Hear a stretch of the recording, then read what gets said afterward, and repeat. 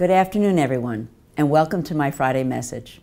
My special guest this week is Sarah Armstrong, a professor of pediatrics and population health sciences and director of the Duke Children's Healthy Lifestyle Program. Dr. Armstrong is the chair of the American Academy of Pediatrics section on obesity. We'll be discussing the AAP's new guidelines on the assessment and treatment of childhood obesity, which is a strong predictor of health challenges later in life. Sarah and her colleague Chris Newgard and DMPI are also featured in this week's School of Medicine's online magazine, Magnify. The article covers an innovative new childhood research project that uses both basic research and community-based clinical research to examine the paradoxical link between food insecurity and obesity. Before we talk with Sarah, I'd like to share a few updates. In response to declines in COVID case numbers and severity, university leadership is lifting or easing most COVID protocols on campus. Surveillance testing and formal student COVID case management have been concluded and the SymMon app for reporting symptoms will be retired on April 3rd. However, masking is still required in all patient care and clinical settings, such as inpatient units and hallways, patient rooms, clinical waiting rooms, and examination rooms. Masking is optional in non-patient care areas in all buildings, such as workrooms, break rooms, conference rooms, shared offices, and administrative areas within the health system. And of course, we all need to respect the need and wishes of our colleagues who still opt to wear a mask. Last Friday was match day, one of the most exciting days in the life of every medical student. 106 fourth year students opened their envelopes and learned where they'll be doing their residencies and continuing their training. I am so proud of every one of our graduating students, and I know they will excel in the next stage of their learning and beyond. The Dean's Distinguished Research Series continues next Thursday, March 30th, with a trainee poster session and faculty talks by Dr. Aroglu and West. They're open to the entire School of Medicine community, and I encourage you to attend and hear firsthand about some of the most exceptional research that our faculty are doing. Lastly, I am happy to announce the first ever Dean Staff Awards. These will be annual awards to recognize exemplary staff who support the School of Medicine's mission and values. Staff are the heart and soul of the school and I am delighted about this new opportunity to celebrate their contributions. Please watch for additional details soon. And now, please let's join me in a conversation with Sarah Armstrong. So, Sarah, thanks for talking with me today. I understand you recently updated the new clinical practice guidelines for children and adolescents with obesity. That's right. And it had been since 2007, the last time they were updated? Yeah, so um, so for clarity, the 2007 recommendations were still expert opinion and literature review. So this um, 2023 clinical practice guidelines actually the first clinical practice guideline that the American Academy of Pediatrics has published on child and adolescent obesity. So 15 years of evidence intervening and the difference really is, is that it was guided by a systematic evidence review um, and grading of the evidence, which didn't happen in the prior guidelines. So we feel really confident in the level of the evidence um, that were included in this practice guideline. So Sarah, what are the major takeaways from the new guidelines? Yeah.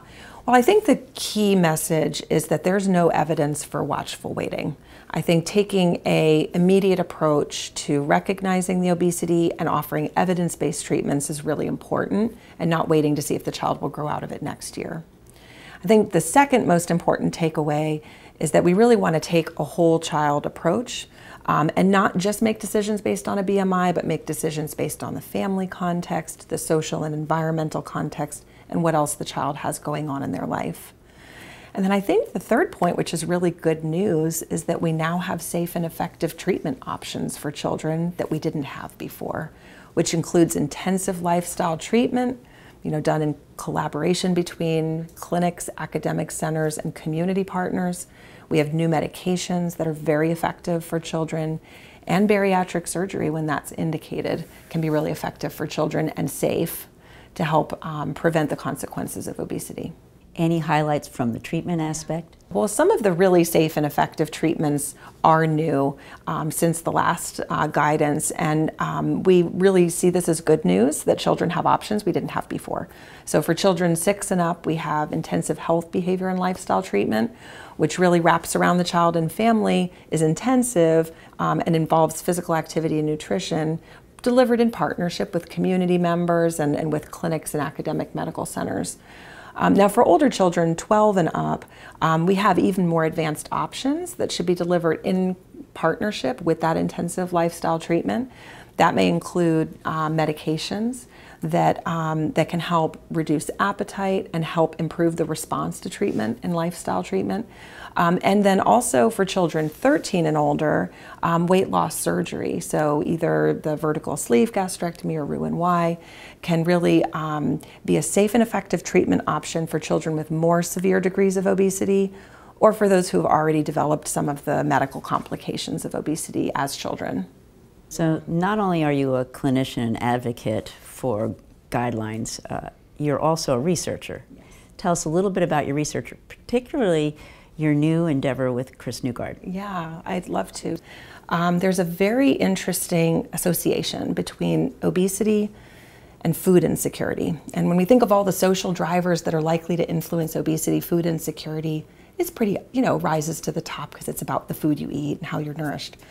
So um, you know, interestingly, I think maybe ironically, people might think that if you don't have enough food, you should have a lower body weight, but it turns out that the opposite is true um, pretty consistently across ages. So, you know, it's unclear exactly why that is, and um, Chris and I are going to try and unravel that association a little bit with some shared clinical trial work and basic science work. And then we're going to see if we fix the food insecurity, do we also fix the obesity? You know, and if not, what are those unmeasured factors that we need to be paying attention to?